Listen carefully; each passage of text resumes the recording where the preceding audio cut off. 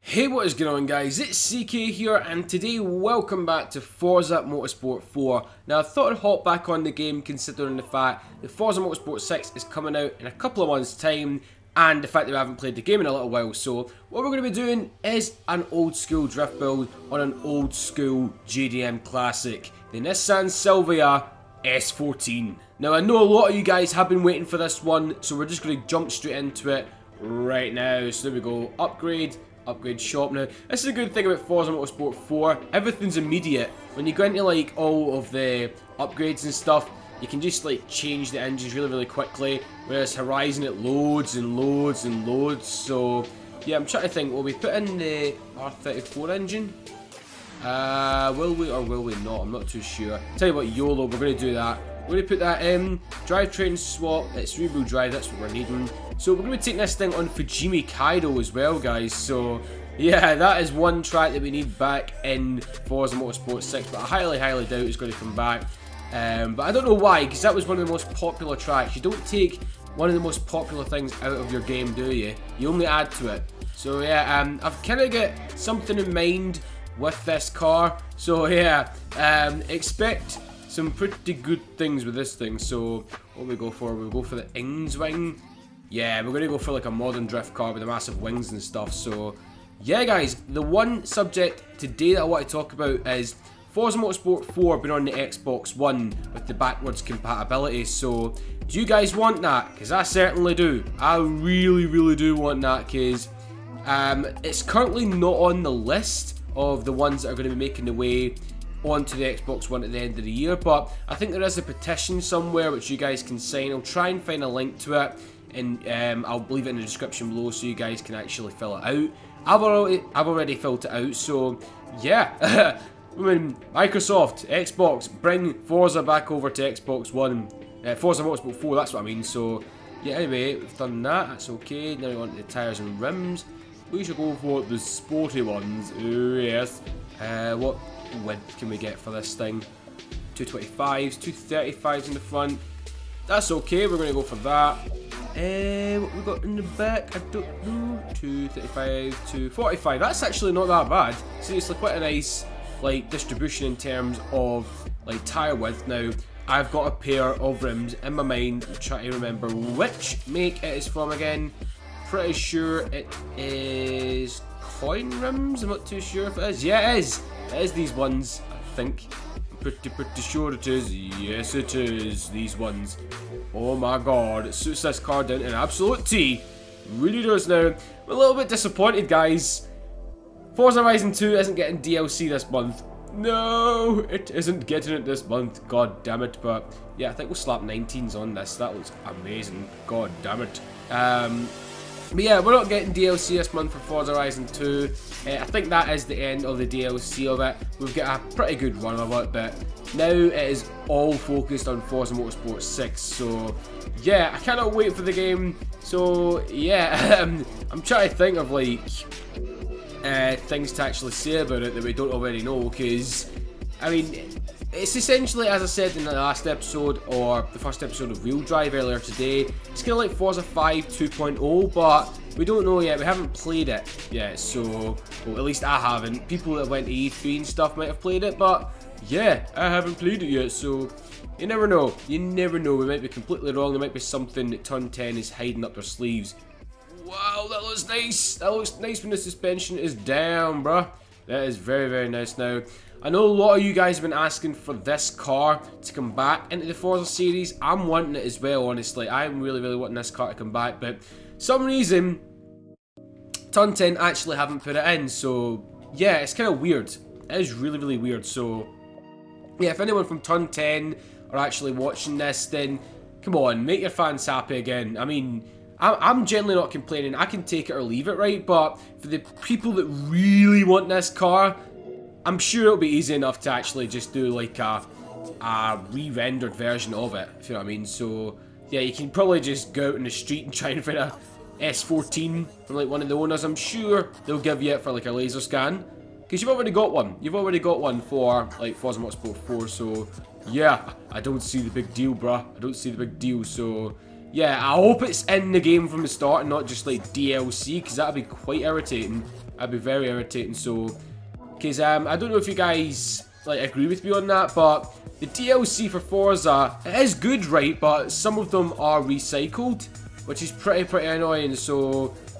I'm pretty sure that they're going to be actually adding in all of the cars from Forza Horizon 2, Forza 5 in from the get-go, but you never know. They might be bringing some back because the GMC Vandura's already in, uh, which is pretty good because that's been in multiple DLC packs.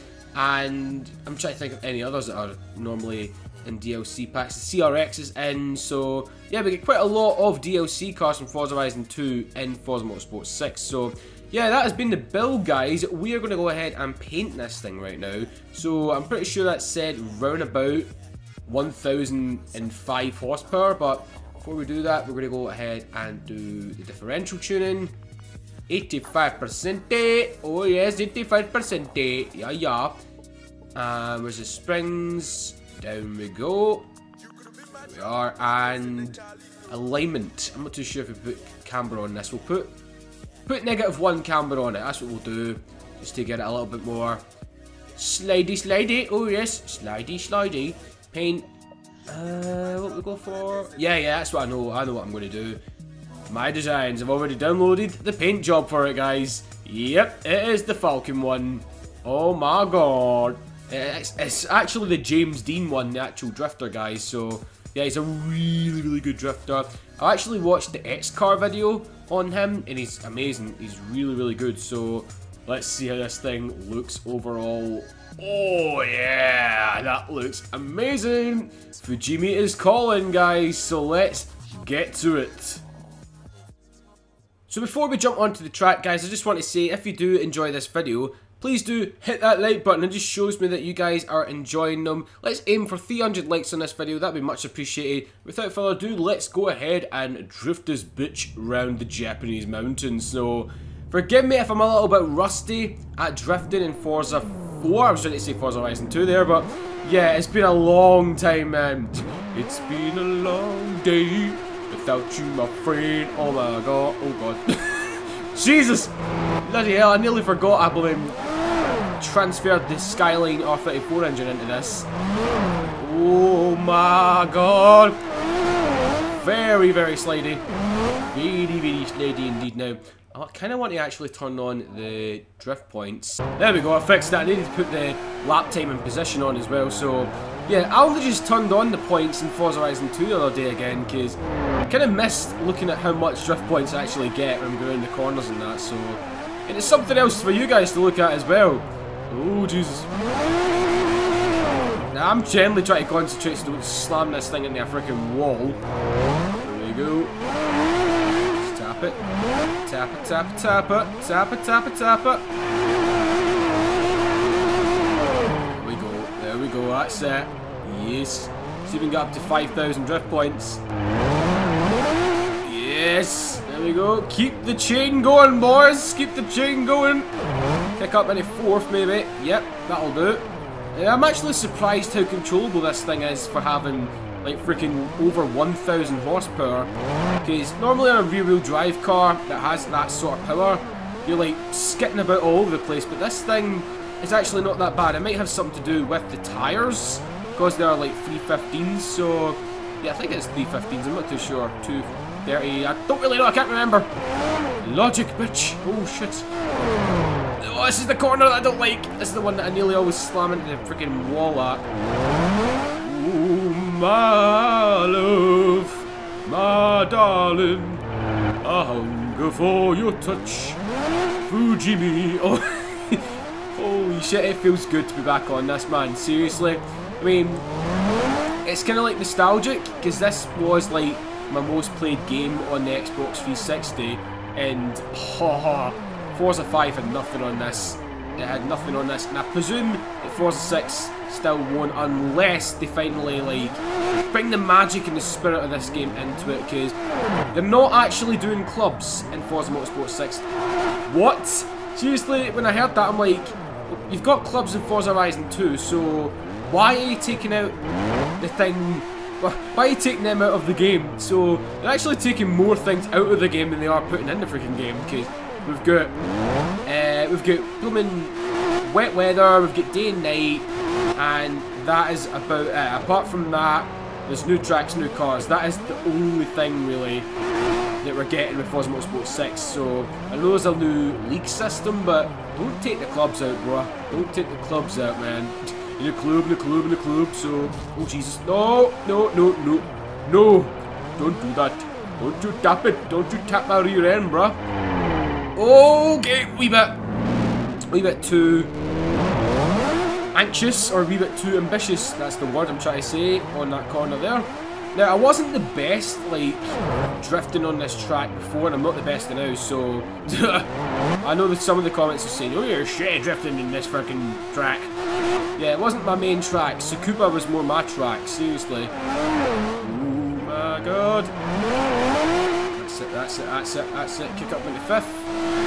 Now, I know a lot of you guys have been saying, oh, do more drifting focus videos, so yeah, whenever I'm on Forza Motorsport 4, whenever I'm doing a drift build on Forza Horizon 2 and stuff, I'm going to properly focus it back on drifting now, so yeah, that is kind of what it says in the title there, as a drift build, but yeah. Ooh, where's the waterfall? It's coming up, there it is! My favourite part of the track. God damn, man. God damn now. I know a lot of you love this car out there, man. The S14 is a legend in the JDM scene, and to be honest, when I was a kid and when I was playing this game for the first time and that, I didn't really like the S14, but now I really, really like it. I mean, is there not like two versions of the S14? Because like, oh my god, Jesus Christ. Because the rear lights on this one, I'm not really a big fan of it, so... I know this is the Club K edition, so... Yeah, it might have something to do with that, but yeah, uh, the S14, the normal one, I really, really like that. I really like the backlights on that. So, anyway, I think we're going to jump into cockpit view, try and get some sideways action in this. twin turbo, man. Oh, God, it's bloody eargasm. Don't get the wall. Oh, my God. Jesus, come on, come on, come on. That's it, that's it. Go now, go now.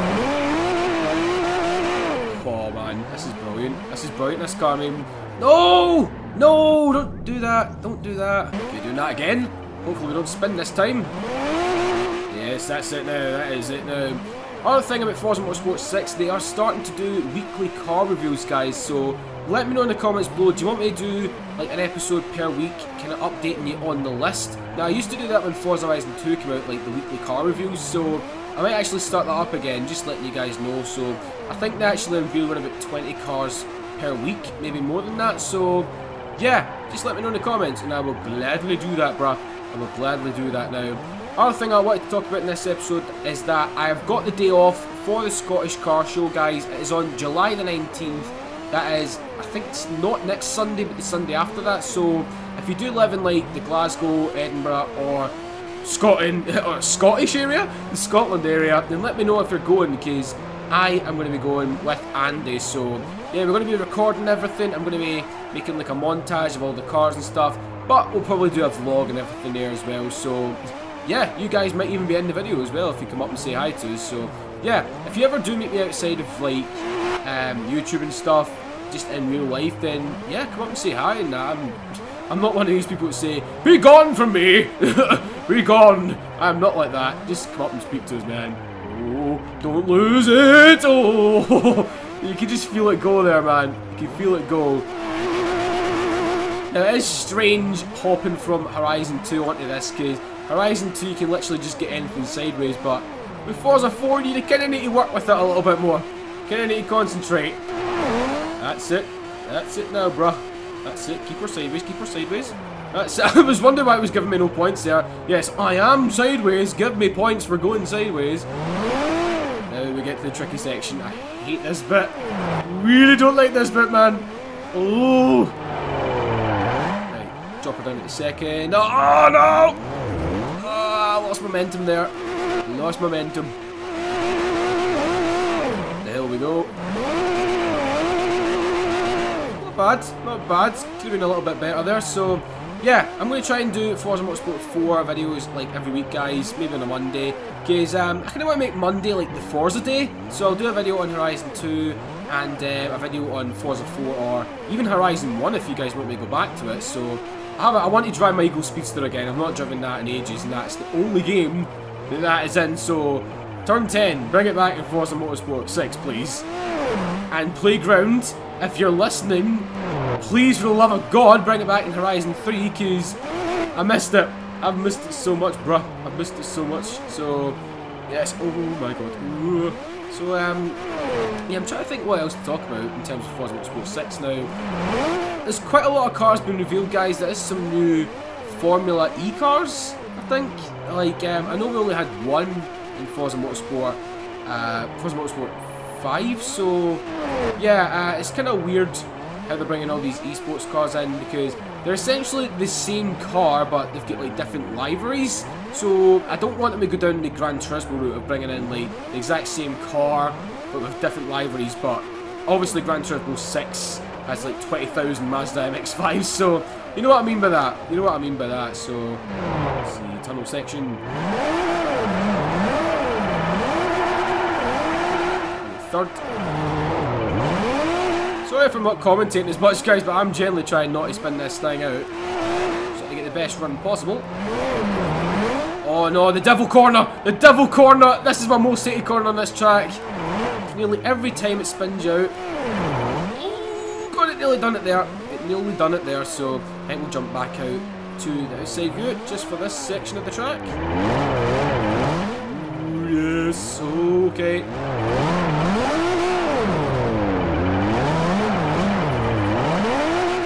Oh, it was nearly a wall tap there, man. That was nearly a wall tap. Here we go, the nice hairpin sections.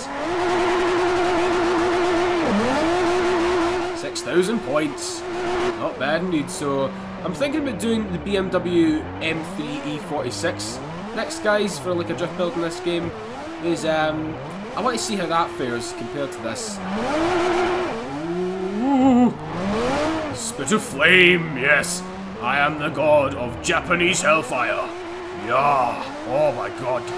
Oh my god, yes. Oh my god. Oh, Love this, man. This is, this is so good. It's like nostalgia. It's like playing Need for Speed Underground 2. Obviously, this was made, I think, 2009 or something, 2010. So, yeah, it's a lot closer to the actual time now than Need for Speed Underground 2. And I fucked that one up.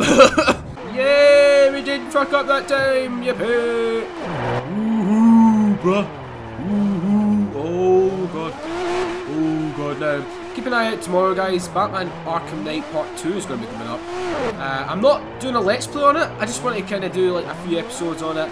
Um, just getting into the game and stuff. So, yeah, I'm not doing a Let's Play on it, guys. I'm not doing that, so... You can rest your mind there for all the haters out there saying, oh, we want... Oh, what the fuck? What the fuck? Oh my god, man, that was... Takeout. Takeout, man. Long sweeping curve, keep it going, keep it going. Come on, come on. Ooh. We're nearly at the end of the track now, guys. I want to try and get the best chain link score. Good thing I changed it to third there, because I can feel it going. Yes, yes! That's it, get back into the groove now, guys. Getting back into the groove. This is not bad, man. This car is pretty good now. When I played Forza Motorsport 4 for the first time in that, and when it was out, I never really used to tune the cars.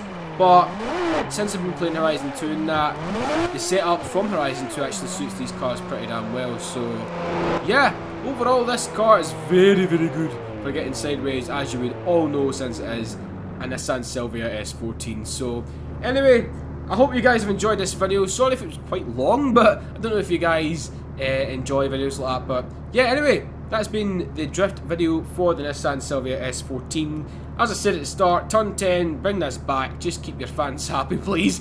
Um, and, yeah, I'll see you in the next episode, guys. A like would be much appreciated. Subscribe to the channel if you do want to see some more and follow me on Facebook Twitter as well. So, yep, see you next episode, guys. Peace.